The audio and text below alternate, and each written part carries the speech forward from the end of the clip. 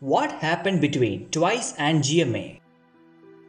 Even though I thought of not making a video regarding the issue, as I didn't want to escalate the issue. Moreover, the issue has been resolved by GMA by changing the title.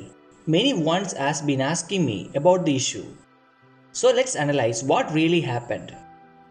Twice recently appeared on the American morning talk show GMA3 What You Need to Know to promote their first English single, The Feels.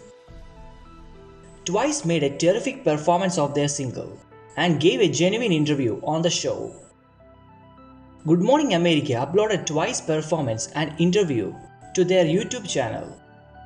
But the real issue came after fans noticed that the title GMA staff gave for the video was inappropriate and dismissive of Twice achievements and contribution to the K-pop as a whole.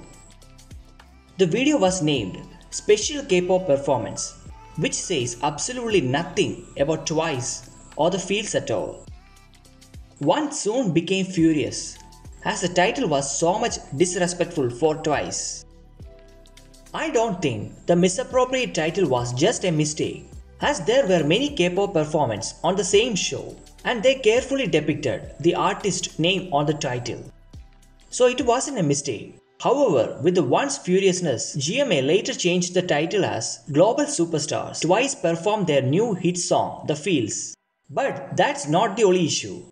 The interviewers were not aware of Twice or their individuality. And what makes your group so unique is you you have singers, dancers, you even have rappers. How do you blend all of your unique individual talents into a band that works? They think it's a unique thing to have. Group consisting of singers, dancers and rappers. When every group has the same identity. Also, there were many mistakes while they described about Twice and their formation, which I have mentioned in my previous video itself. I think when making an interview with someone, at least make some research ahead of their interview to make them more comfortable and genuine. The twice first appearance, which could have been a memorable one, was undermined due to the wrongdoings from GMA and their staff. So GMA don't make such mistakes again.